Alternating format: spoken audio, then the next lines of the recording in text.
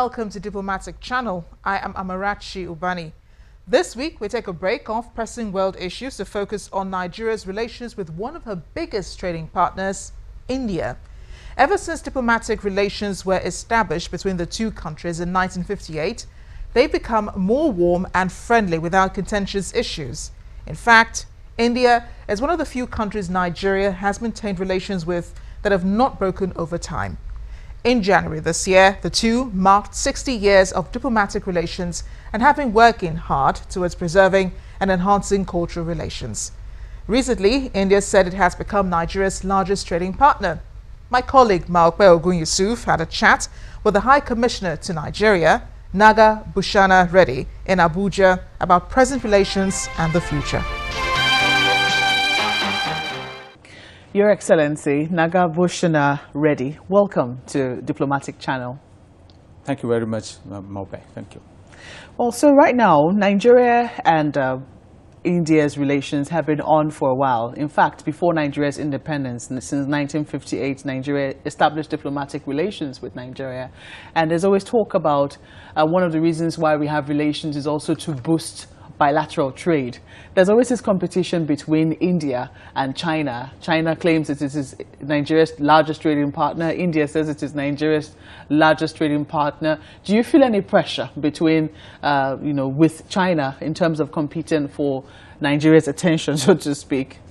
At the outset, let me uh, state that uh, we are in a very momentous period of our bilateral engagement, uh, which is, uh, as you rightly mentioned, it is the 60th uh, year of diplomatic engagement. Uh, to be more precise, it was in uh, November 2018 that India opened a diplomatic house in Lagos and thereafter uh, there was no looking back in terms of our bilateral engagement. Uh, then uh, in terms of our own leadership, in terms of our own, the entire canvas of our bilateral relations is, is very vast.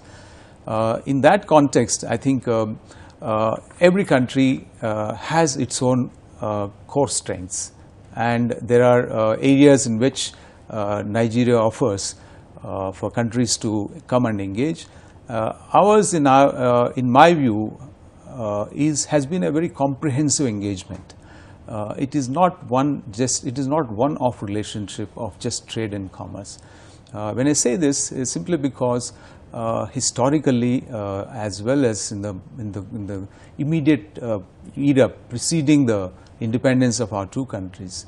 We marched together to fight against colonialism. Uh, we held our hand uh, together in, in uh, articulating our views, uh, both in the United Nations and other platforms. So as a result, um, and more importantly, uh, if I may say so, the Indians who have been engaging with Nigeria, uh, it's over 100 years now. coming to the bilateral engagement, particularly trade and investment, uh, well, we are relying on the trade statistics that uh, uh, which have been provided by the Indian side. Uh, our bilateral trade is last year. When I say we are talking of uh, April 2017 till March 2018, uh, it is 11.76 billion US dollars, of which 9.5 billion dollars is the the what do you call Niger India's imports of uh, Nigeria uh, and only 2.6 uh, billion dollars 2.26 billion dollars is uh, what India exports. There is a huge trade deficit uh, as a result of which where Nigeria is at its great advantage. So, but I think um, it has never been uh, a, an issue of concern to us because we believe that we, as I said at the very beginning, we have our own core strengths which we tend to take advantage of uh, in advancing our engagement. I don't think uh, it will be appropriate to, to, from my side to say that we are in competition with anyone. I guess that is, uh, in a globalized world, we are competing, everyone is competing with against other. But Nigeria offers uh, enough, I would say, opportunities for uh, countries to engage. Mm. Uh, but, you know, what are the areas that India is leveraging on? Because even though you have a huge trade deficit in terms of your relations with Nigeria, you know, what are the areas? Because you, you seem to refer to the fact that in India is benefiting from some other areas. What areas are those? Well, uh, let me just at the beginning of this question, I mean, and my answer say, compared to the year before, 2016-17, because we take the financial year as what I described earlier, uh, we have a 25% increase in the overall two-way bilateral trade. Uh, it's a significant uh, uh, increase. Uh, partly it has to do with uh, the confidence that the Indian industry had with Nigeria and Nigerian economy. Now, coming back to your specific question about which sectors, if I may name some of them, uh, for Indian, India's exports have been into pharmaceuticals, uh, engineering goods, uh, particularly uh, machinery coming into Nigeria. Uh, then you have uh, products such as uh, automobiles, uh, agricultural machinery, uh, then uh, articles of iron and steel, plastics. So there is a whole range of uh, uh, about 7 to 10 of this uh, which constitute about 80 to 90 percent of bilateral trade uh, or rather India's exports to Nigeria which are in uh, sectors where there is certain advantage uh, which India has. Yes, it is true that the, we have not been able to provide to the extent that we could and this is where the engagement that we are trying to advance at the government to government level uh, so that we can find more and more areas of complementarity that exists and take advantage of. It's interesting, and I mean, you talk about trade. One of the things that you know some people might also mention is the fact that you have quite a bit of Indian investments here. Uh, perhaps there is a preference, you know, to uh, do some manufacturing here in Nigeria as opposed to making it in India and bringing it here to Nigeria.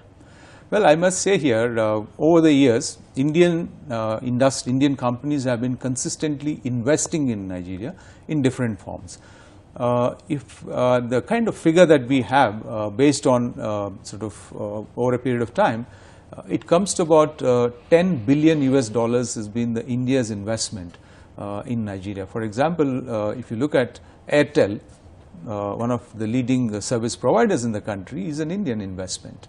Uh, similarly, we have a number of automotive companies now started investing in the country. Let me come to the drive that the government of federal government of Nigeria as well as the states in Nigeria are very keen on after the ERGP, this Economic Recovery and Growth, Growth Plan, Plan, uh, which seeks to have higher local content and uh, with greater drive to have make in Nigeria concept. I mean, this is something even we are promoting in India, uh, as you would have heard, uh, is actually the Prime Minister of Nigeria, uh, India, has always been, uh, uh, is Mr. Narendra Modi, has been very, started this program called Make in India, where we are trying to take advantage of what we have in India. Similarly, we believe that wherever we can support this initiative to the extent we can, that would be the real contribution that a country can make uh, in development of other countries. Well, more local investments by Indian companies here in Nigeria means that you come more in contact with the local people. How would you say that they have found the environment in which they do business, especially uh, with relationships with Indians, Nigerians and Indians in the same? Would you say that they have been hospitable? Have, been, have there been issues where you have had to step in to intervene, especially with the Nigerian government? Uh, if I may answer this in a slightly different manner, so far uh, we have not had occasions where uh, these were any complaints have come to the Indian High Commission uh, wherein we had to directly intervene. Now, having said this, uh, we have over 135 Indian companies who are based, uh, which are based in, Ni- in Nigeria, in different parts of Nigeria. According to one statistic, you know, which is again said by one of the uh, Nigerian uh, academics, that uh, possibly the Indian companies are employing the second largest manpower in Nigeria after the federal government of Nigeria. Uh, over a period of time, uh, uh, I think Indian companies have been um, traditionally, uh, in terms of in terms of their relationship with the employees, has been generally good. Because uh, otherwise, we would have certainly heard from the at least the government agencies here uh, informing the High Commission of any such complaints.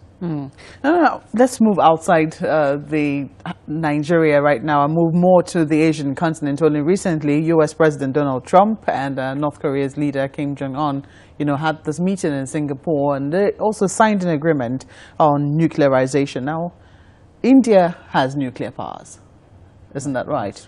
Uh, so, have you ever felt threatened about North Korea's uh, belligerence, it was same seeming belligerence in that particular region. Have you ever thought about it?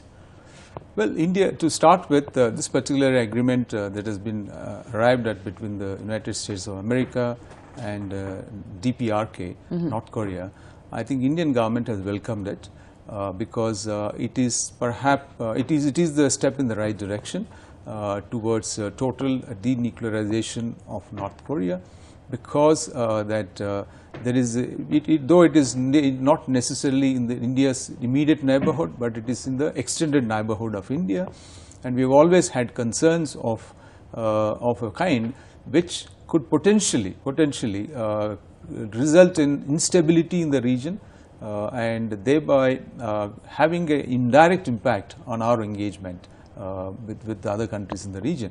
Uh, to put it this way that we have we have very close diplomatic ties with DPRK. In fact, our own Minister uh, of State for Foreign Affairs traveled earlier uh, in this year to, to uh, Pyongyang uh, with, with, a view to have a conversation.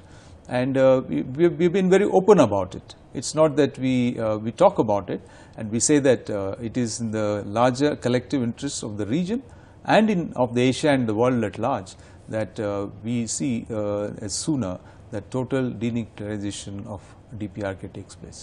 In 2017, Nigeria and India agreed to work together on space technology, uh, which is one of the technological areas, uh, apart from um, IT, uh, information technology, where India has made a lot of advancement and is also making some investments here in Nigeria. Uh, you know, not much has been heard about that agreement since it was signed in 2017 in terms of how, what work they're doing on space technology. Uh, well, I think uh, I think it requires a clarification uh, because um, we have had uh, discussions on areas where we would like to start cooperating in the space science and technology. Uh, we are yet to reach a stage where we have signed an agreement. Uh, however, the progress that has been made includes a uh, specifically uh, two dimensions we are looking at. First is the ability, uh, it is in the launching technologies which are required. And the second is utilization of the space data for various utilities, for example, be it in it, it's essentially the remote sensing data which is used for developmental purposes. On both these platforms, uh, for example, uh, let me take the later first. Uh, in the remote sensing technologies, we've been able to send some of the scientists of Nigeria uh, to India for short-term training programs, uh, uh, and particularly in some of the very sort of reputed remote sensing training centers in India. And we have extended an invitation for the, the, the Director General of the NASRDA to, to visit India. Uh, number three, we have exchanged, uh, we are in the process of uh, concluding an MOU, Memorandum of Understanding, uh, wherein both sides, uh, which is the Indian Space Research Organization and NASA, have uh, reflected on it and provided for what areas they would like to cooperate. And I am very hopeful that during the year, we could conclude the negotiations on this text. here, as you would have perhaps noticed, that uh, India has come the uh, has completed the full cycle of entire space science and technology. Uh, we have now uh, capacities to launch satellites, manufacture satellites and manufacture the launch vehicles.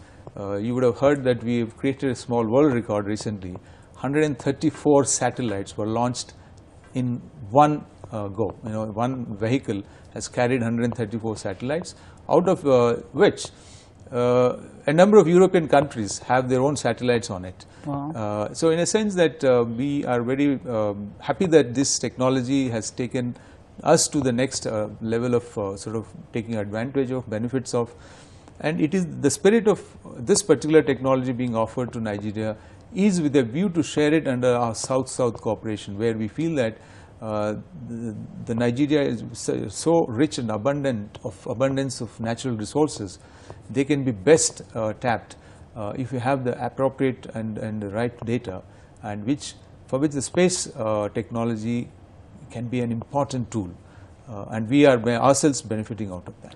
Well, we have to thank you most kindly for coming on Diplomatic Channel, Your Excellency Naga Bhushan Reddy. Yeah, thank you very much. Thank you.